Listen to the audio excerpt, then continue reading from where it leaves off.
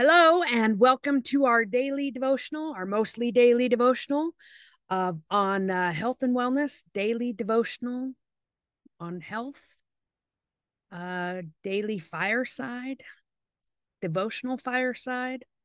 I don't know, one of those things. Um, on health, it is based on health. We're trying to uh, bring a relationship with our Savior into our health and wellness journey that's really what it's about.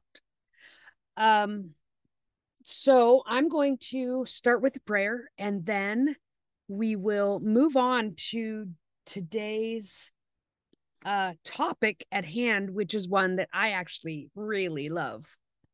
So let us pray.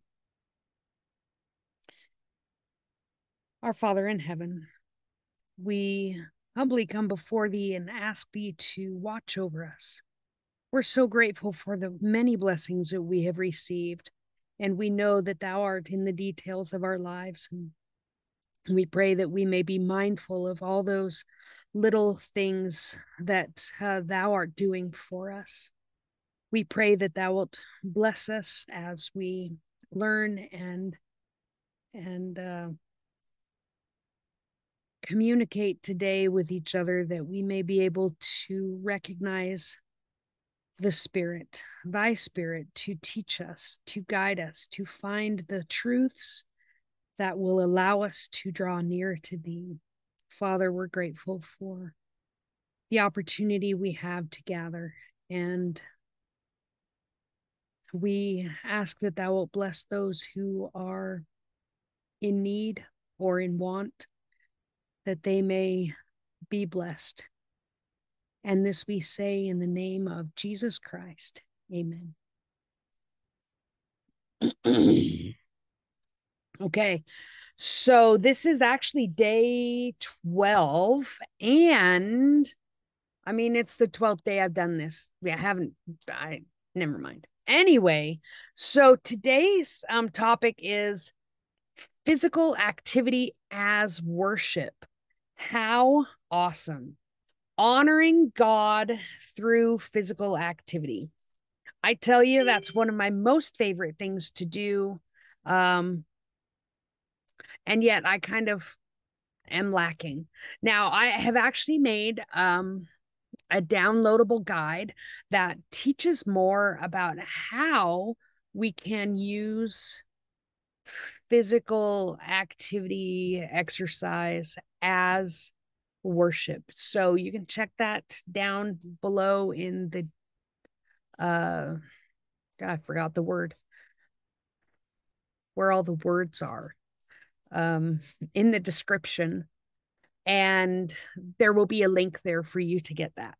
So that's that's available there. But today we are actually going to um Romans 12 1 and you can read this either yeah, I happen to read the King James version, King James version of the Bible. Um, but you can read it in the new international version. You can read it in whatever version you want, as long as you've got um, Romans 12 1. It says, I beseech you, therefore, brethren, by the mercies of God, that ye present your bodies a living sacrifice, holy, acceptable unto God which is your reasonable service. He wants us to um, uh, sanct- the sanctity of our body, to sanctify it, to use it for His good use, and um, yeah, to present it healthy and whole to Him. It's really the only physical thing we have that we can take care of that will um, prove to Him that and our will that we can give to him to show him that we appreciate what he's given us. So, um, physical activity. Consider how physical activity can be an act of worship and gratitude for the body God has given you. Um, express gratitude in your prayers for the body, the things that you're able to do. Um, and use that as uh, or ask for motivation to use physical activity as a form of worship. uh, it's such a beautiful thing. I know that when I dedicate my workouts to him before the workout, uh, it's always a much more uplifting experience. So I really, I really enjoy that. Now, the oil for this is one that's energizing and uh, will invigorate the senses and kind of wake you up, and that's peppermint. Um, I do have a story about peppermint. Don't put it under your eyes if you're reaching that age where you've got a couple lines here, you for sure don't want to put it near the lines. Like if you try to use it for a headache or something, uh, putting it on your temples or on your forehead, that's fine. Just make sure you don't get too close to those smile lines because they'll draw that oil right into your eyeballs and then you'll start crying and mascara will run and it will all be a thing. But um that is today's message um, chapter 12 of Romans, verse 1. I beseech you, therefore, brethren, by the mercies of God, that ye present your bodies a living sacrifice, holy, unacceptable, unacceptable. Not that one.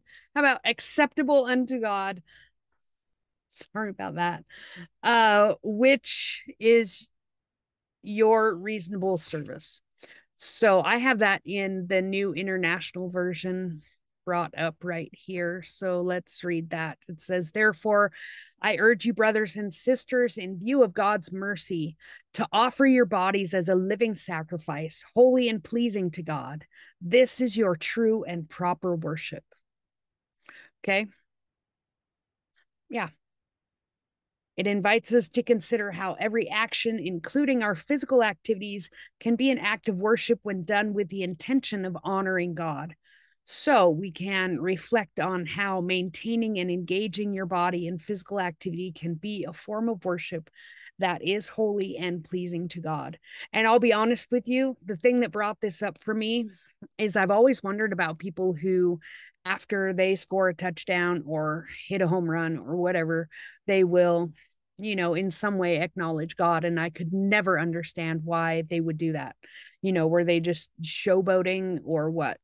And uh, so I did a little research, and there's so much more to it, which is really where that guide comes into play. And I would love for you to have that. So, wonder if I have that pulled up right here.